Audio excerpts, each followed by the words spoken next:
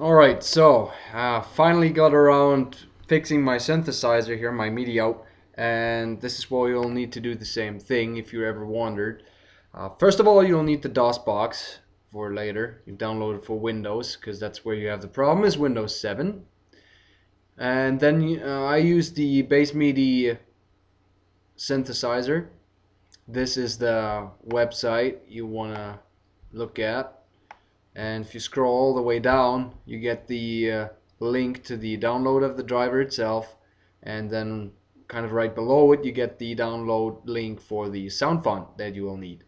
Uh, so far it's working great. The uh, playback is very awesome. What doesn't work for me in that sound font is playing on the keyboard itself. The, the piano sounds like shit.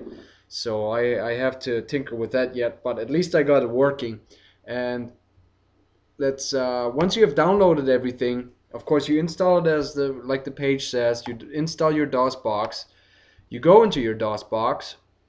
We'll need this to confirm the uh, actual device the MIDI device on your computer because it could be very different. So as the box is open you enter mixer and then uh, list MIDI so here it lists our MIDI devices that we can assign to our output. And from 0 to 6 you can see 0 is base, BASSMIDI it's the one we just installed. And 1 is listed as the Microsoft Wavetable synth and then my Yamaha is listed in here as well. So we are after that number of course and we are after that 0 we also keep in mind uh, the position in here um, that is not used okay Alright, and then what we want to do is hit our little Windows key and R together, open our Regedit by entering that in there, hit enter, uh, confirm as always, and then of course the path is H current H key current user software.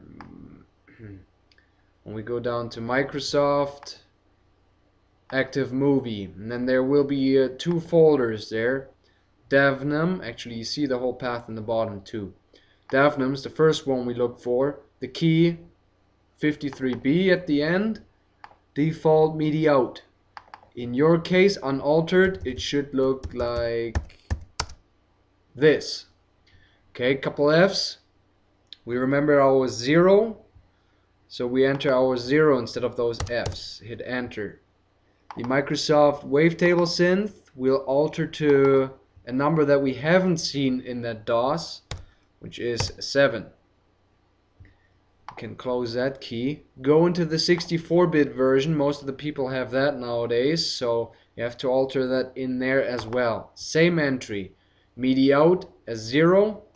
Wavetable synth, the 7. You see again my Yamahas and listen in here and that is that.